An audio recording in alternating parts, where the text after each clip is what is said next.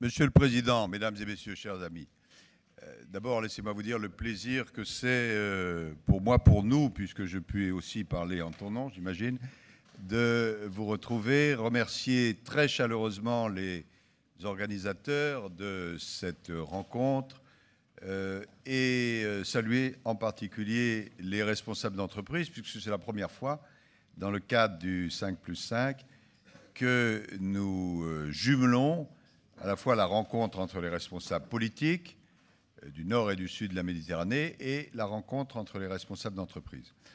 On m'a donné euh, cinq minutes, c'est trop. Euh, et donc en cinq minutes, je vais vous dire trois choses ou quatre.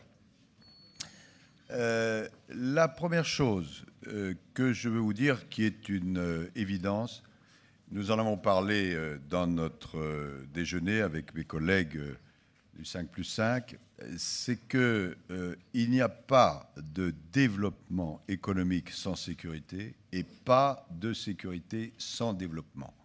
C'est une évidence, mais qu'il faut faire retomber sur le sol. nos pays, que ce soit au nord ou au sud de la Méditerranée, ont tous réellement ou potentiellement euh, des problèmes de sécurité. Car l'insécurité n'est plus un phénomène localisé, mais les risques euh, sont malheureusement larges. Et donc, il faut que nous unissions nos efforts, nous, les responsables politiques, pour venir à bout de ces questions de sécurité qui s'appellent la drogue, qui s'appellent le terrorisme, qui s'appellent les trafics de tout genre. Euh, car euh, les responsables d'entreprise ont besoin d'un horizon sûr, comme les citoyens tout court, pour pouvoir développer leurs entreprises. Mais en même temps, c'est euh, une causalité circulaire, comme disent un certain nombre de gens qui aiment le jargon. C'est-à-dire que nous savons bien que nous ne viendrons pas à bout des questions de sécurité si en même temps nous ne faisons pas les uns les autres un grand effort en matière de développement. Et donc, c'est la première idée que euh, je veux avancer. Elle est toute simple, elle est évidente. Euh, il faut que nous prenions à bras le corps, d'une façon coordonnée, les questions de sécurité. Il se trouve que l'attention a été beaucoup euh, attirée au cours de cette année sur le Mali, mais je dis souvent que ce qui s'est produit au Mali aurait pu se produire dans un autre État. Car si les terroristes ont décidé de frapper là, c'est parce que l'État était faible. Et donc, euh, il faut que euh, nous ayons à l'esprit les liens évidents entre sécurité et développement. Voilà ma première idée. Ma deuxième idée, euh, c'est que, précisément, nous avons besoin, au nord comme au sud, de faire des efforts au nord euh, des efforts pour susciter la croissance. Et je sais que parmi euh, mes collègues du nord de la Méditerranée qui sont ici, euh, aussi bien mon collègue italien que ma collègue italienne, c'est excusé, mais mes collègues italiens que mon collègue espagnol sont très attachés à ce que la politique européenne soit une politique de sérieux budgétaire, mais en même temps de soutien à la croissance, parce que la croissance qui est ou qui sera la nôtre au nord est aussi la croissance du sud. Et en même temps, il faut qu'au sud, euh, de grands progrès ont été faits, mais il y a encore des progrès incontestables à faire en matière de gouvernance. Et il faut donc que nous unissions nos efforts au nord, au sud de la Méditerranée, euh, mer que nous avons en partage, pour euh, que nous travaillions ensemble à améliorer ce que nous faisons. Et cette amélioration aura des conséquences en retour sur la sécurité et sur le développement. C'est la deuxième idée que je veux euh, avancer. La troisième euh, idée, c'est que euh, je pense que c'est une très très bonne chose que pour la première fois, nous associons aux efforts des gouvernements les travaux des partenaires économiques. Euh, il fut un temps, euh, qui n'est pas très loin, où la politique euh, était considérée comme un tout qui suffisait à lui-même. Les politiques décidaient et c'était à la société d'appliquer. Les choses ne se passent plus ainsi. la société civile, comme l'on dit, et en particulier les entrepreneurs, doivent être étroitement associés à la gouvernance.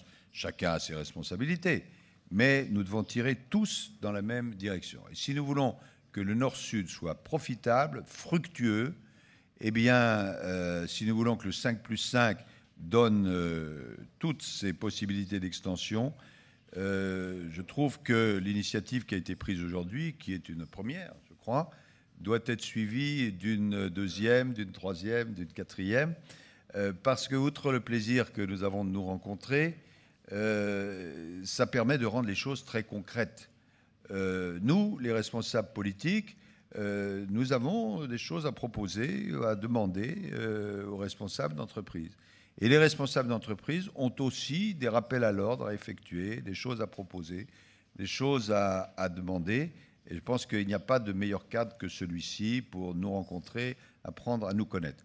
Donc euh, là, comme c'est la première réunion, même si je sais que déjà des contacts ont été noués fructueux dès la première réunion, c'est comme la première rencontre de fiancés on ne peut pas, même si les mœurs évoluent un peu, d'après ce que je comprends, euh, on ne peut pas. Euh, euh, vous savez, il y a un film que vous avez vu qui s'appelle, je crois, Les, les Bronzés, c'est ça.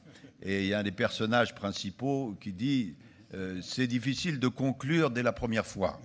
bon, je ne veux pas m'égarer dans des sentiers un peu dangereux, mais en tout cas, là, ce sont des préliminaires qui devront être euh, prolongés.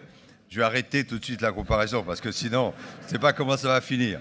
Ce sera pour les guignols de l'information. Euh, euh, en tout cas, oui, que les responsables politiques et les responsables d'entreprises travaillent ensemble, je pense que c'est la bonne méthode.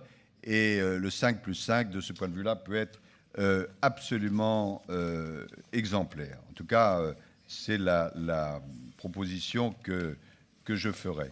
Et puis, euh, j'ai dit euh, quatre points, donc il faut trouver le quatrième, qui est tout trouvé.